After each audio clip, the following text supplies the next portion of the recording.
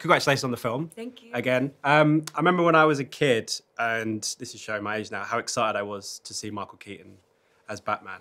So I was going to ask you first, who were the heroes of your childhood? Was there a comic book hero that you loved as a kid, or was there another sort of cartoon or anything as a kid that you? Uh, it was Spider Man, um, Wolverine. Uh, there's someone in the DCU, but we're gonna stay in Marvel. So, but if you know, you know. and that's it. You know, really, those three for me.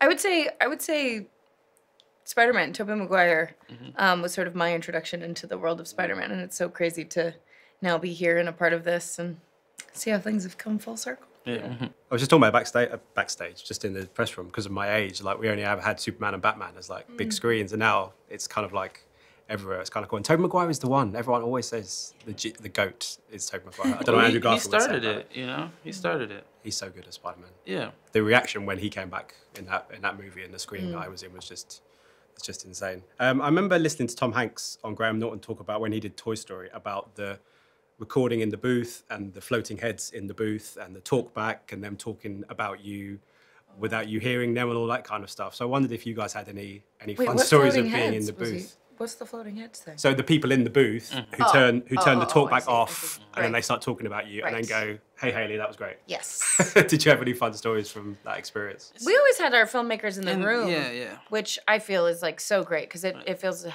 lot less isolated um, and it feels it's it's always felt like such a, a collaborative effort and like we're in a space where we are free to be who we are and bring to these roles parts of ourselves that they really want to to shine through.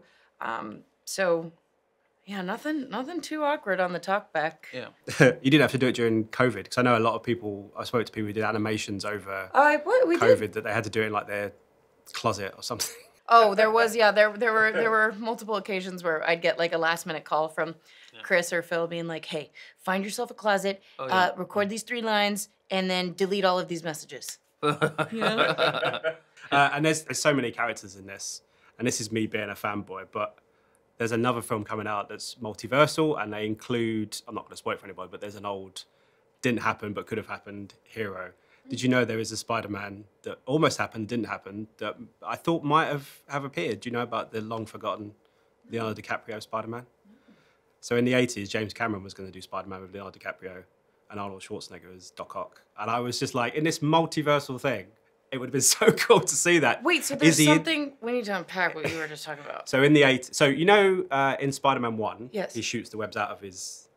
That was James Cameron's idea, because in Okay. the comics, Okay. he obviously makes it. Right? So that was one of the things that came into 2002. So in the 80s, he wanted to make a Spider-Man film. Leonardo DiCaprio was going to play Spider-Man. Arnold Schwarzenegger was going to play Doc Ock. And was this just mentioned in something else? It nearly ha- it very nearly happened. Yeah, there was like pre-production, all that kind of Oh, stuff. Oh, and so you were saying. I was maybe just thinking, was it's one of those cool things as a as a fan. I was just like, that would have been such a cool Oh, nugget. man. Maybe in part three, That's he will. insane. Yeah. Isn't that cool? That's Yeah. cool. I always thought it was a cool story. And I was looking. There's so many. First time I've heard it. Is it really the first Yeah. time? Totally. Yeah. Part three. There you go. Yeah. Give, give Leo a call. See what he's see what he's doing. And one of the things I loved about this movie was Gwen and Miles's relationship and how they've both, you know, evolved and their relationship has evolved. Coming back, how excited were you to read that script and to see the evolution of, of the two of them together?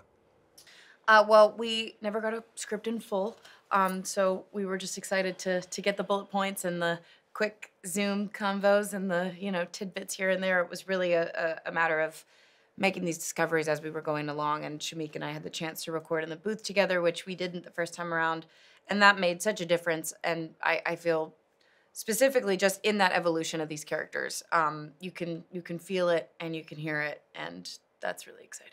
Have you been able to get your dolls yet, or your action figures of your characters? Have you got Oh, the, yeah. the, the variants of Yeah. costumes? Because obviously Miles had a couple of different costumes now. Have you got them lined up somewhere? Are they your Oscars? my- Yeah, somewhere, right. yeah. In my apartment, uh, yeah, we actually have been keeping all the the uh, merch that we get and just kind of putting it up on one of the shelves.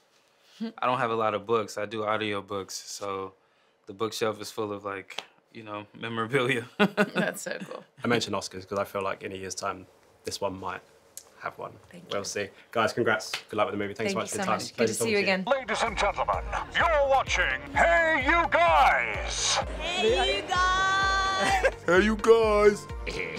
Hey, that's what they all say. Hey You Guys! Hey You Guys!